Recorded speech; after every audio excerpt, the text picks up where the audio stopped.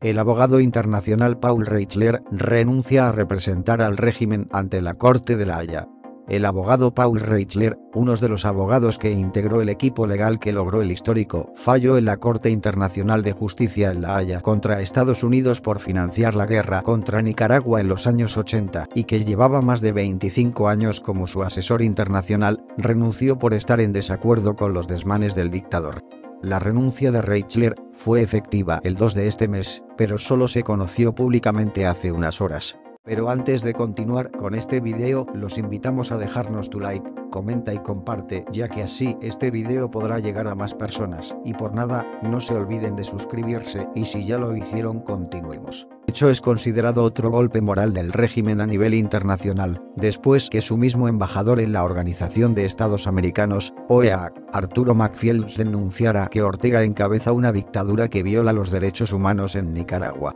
El fallo de la Haya contra Estados Unidos es una bandera recurrente de Ortega en sus actos públicos cuando arremete contra ese país.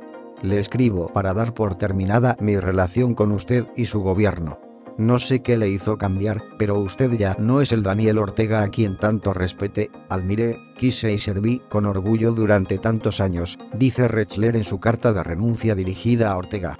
Me resulta inconcebible que ese Daniel Ortega hubiera reprimido manifestaciones pacíficas tan despiadadamente, resultando en cientos de trágicas muertes, en abril de 2018. Me resulta aún más inconcebible que ese Daniel Ortega hubiera arrestado, confinado en condiciones intolerables y enjuiciado a más de 50 ciudadanos destacados, de la política, los medios de comunicación, las universidades y los negocios, con cargos falsos que no son más que un pretexto para eliminar la disidencia y la oposición, añade en su carta el abogado internacional.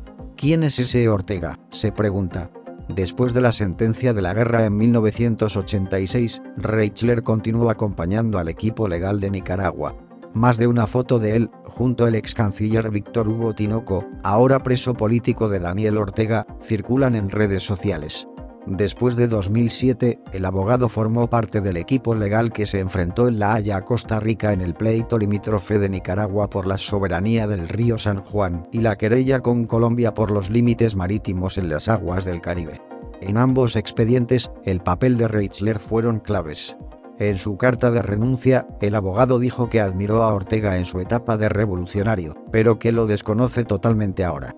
Ortega junto a su esposa Rosario Murillo, se han atornillado al poder con el uso de las armas del Estado y de paramilitares, con las que atacó manifestaciones que dejaron más de 340 muertos en 2018, según registros de organismos nacionales e internacionales como la Comisión Interamericana de Derechos Humanos, CIDH.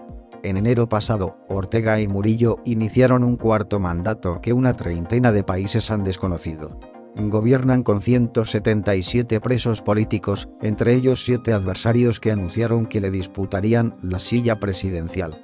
Ortega los secuestró, procesó y los ha condenado a penas de entre 7 y 9 años de prisión. Para Reichler, ese responsable de todas esas acciones, no es el mismo Daniel Ortega que conoció. Es inconcebible para mí que el Daniel Ortega a quien orgullosamente serví, hubiera destruido la democracia en cuya construcción él participó decisivamente y hubiera establecido una nueva dictadura, no muy diferente a la que él mismo ayudó a derrocar, con lecciones falsas, una legislatura sumisa, un sistema judicial corrupto e incapaz de impartir justicia, y el silenciamiento de la libertad de expresión y de los medios de comunicación independientes, criticó el abogado. En la carta de una extensión de cuatro páginas, el abogado se declara sorprendido de que figuras guerrilleras de más talla que el mismo Ortega, a quienes conoció en el pasado, sean sus prisioneros en la actualidad. Mi conciencia moral, agregó, me exige que debo cortar mis lazos con el segundo, Daniel Ortega, y negarme a servirle. Mientras tanto, rezaré por el día en que Nicaragua vuelva a ser libre, finalizó Reichler. No olvides de suscribirte a este canal, activar la campanita de notificaciones, ya que de esta forma tendrás acceso a mucha más información que te será de ayuda. Informar no es un delito, ayúdanos a llegar a los mil likes, deja tu comentario, comparte en tus redes sociales y recuerda, aquí eres libre de expresarte.